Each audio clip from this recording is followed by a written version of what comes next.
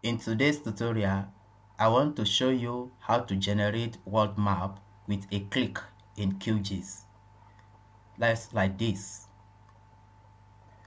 To do that, open QGIS. When you open a blank space, come to this bar where coordinate is displaying and type world.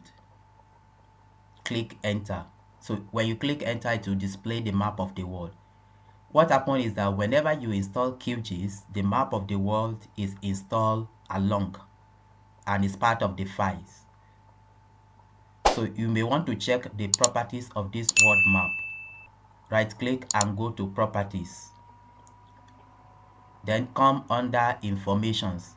You can see the parts of that and you can see the map is in GeoPackage, JPKG.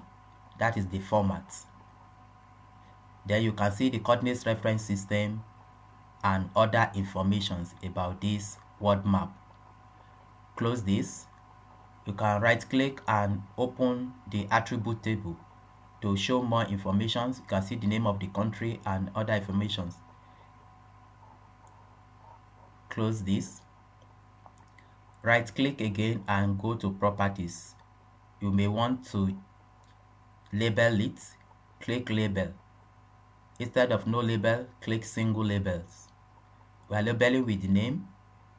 Let's change this font size to 5 and come to symbology.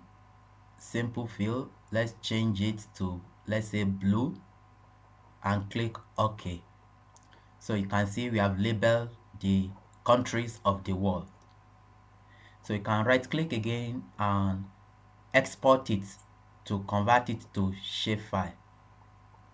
Export, save features as, navigate to your folder where you want to save it. So let's just save it as world map.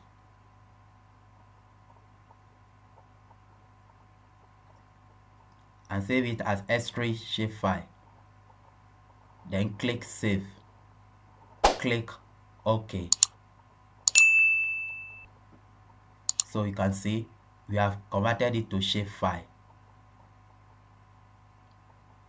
so this is how to generate world map with a click in QGIS thank you for watching